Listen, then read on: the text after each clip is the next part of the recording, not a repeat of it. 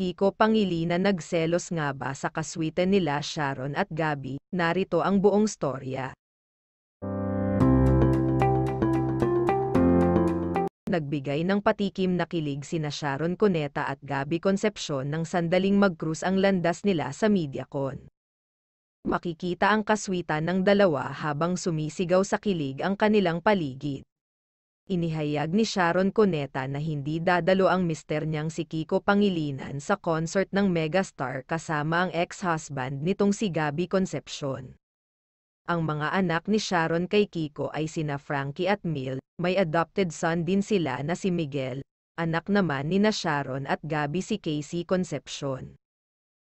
Nilinaw ni Sharon na hindi man dadalo si Kiko, walang problema rito ang pagsasama at pagbabalik tambalan ng megastar at ni Gabi sa concert scene, kaya hindi rin daw issue kay Kiko ang proyekto ni na Sharon at Gabi. My kids and my husband will not watch, kasi ayoko namang masaktan sila. At saka syempre ayokong parang mailang din kami ni Gabi. Kasi after all, we're talking about our history and everything in the past, this is for our audience, and I don't think na kailangan pang makita ng asawa at mga anak ko yun except Casey of course. Thank you so much. Thank you sa aming producers. Kaya mo na, ah, sabi ko sa kanila kanina, pagkatapos ko dito, alis ako, baka hindi tayo magkita. Pwede bang uh, mag-hug bago ako umalis?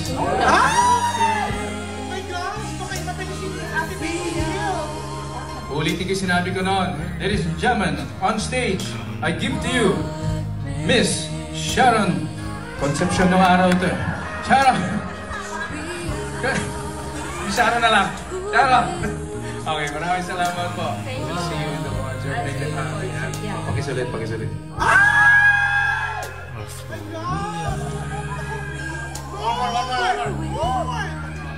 O ngayon, one more.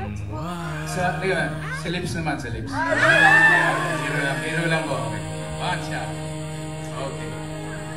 Kaya yan. Okay. Ingat po kayo. Thank you.